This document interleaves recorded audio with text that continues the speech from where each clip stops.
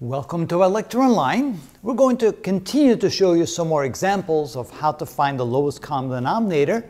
But in this case, we want to show you that it works just as well for adding fractions as it does for subtracting fractions. And so here we mixed it up a little bit. It shouldn't really make any difference. The technique is exactly the same.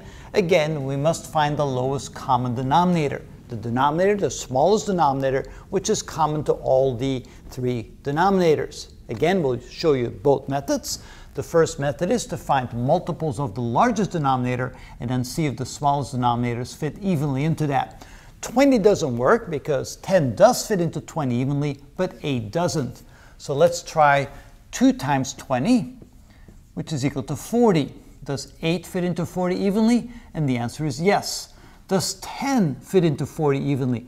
And the answer is yes. So here you can see that this method is by far the quickest and easiest of the two methods because we immediately, on the first try, already found the lowest common denominator, which is going to be 40.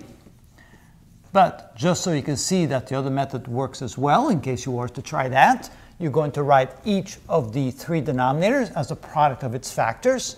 So you can see that 8 can be written as 2 times 2 times 2, which means the factor 2 appears three times.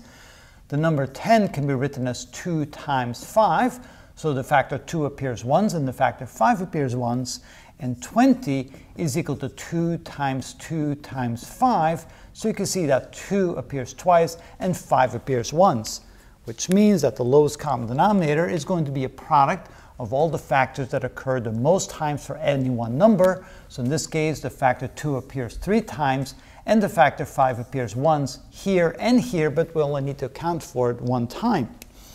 And so here we then get the LCD will be equal to 2 times 2 times 2 times 5, which is 40.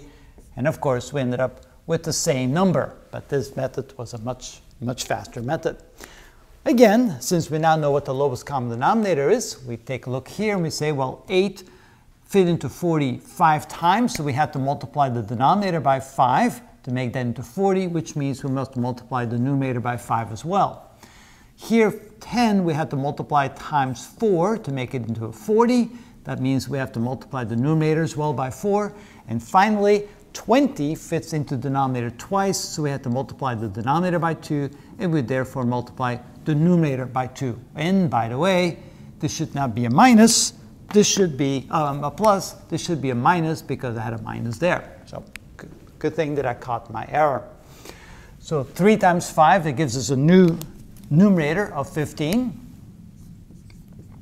1 times 4 gives us 4, and 7 times 2 gives us 14. So now we can write all of these um, numerators over one common denominator, so end up at 15 minus 4 plus 14 all divided by the common denominator of 40, which is equal to 11 plus 14, which is 25 over 40. Now 25 divided by 40, it looks like we can actually reduce that one because notice the numerator ends in a 5, the denominator ends in a 0. That means they're both divisible by 5, which means we can divide the numerator by 5 and we can divide the denominator by 5. And if we do that, our fraction now becomes 25 divided by 5 is 5, and 40 divided by 5 is 8. And so this is our final answer of that fraction. Again, notice we had two methods to find the lowest common denominator. In this case, method 1 looked like it was definitely the fastest way to do it. And that's how it's done.